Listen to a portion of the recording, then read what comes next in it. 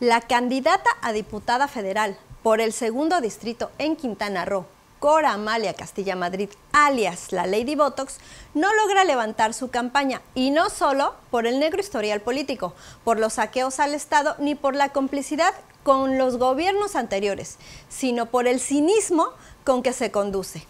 La candidata es bien conocida por querer comprar tanto a reporteros como a habitantes para intentar que a los votantes se les olvide que ella fue una de las primeras en aprobar toda la cuenta pública de quien ya sabemos llevó a Quintana Roo a la ruina y que los bonos de más de medio millón de pesos que le daban por levantar la mano a favor perjudicó enormemente a los quintanarroenses. Cora Amalia no hizo nada ni por su estado ni por su distrito, solo se burló de las necesidades de la gente y ahora dice que va a batir la pobreza cuando ella misma propició en las anteriores administraciones.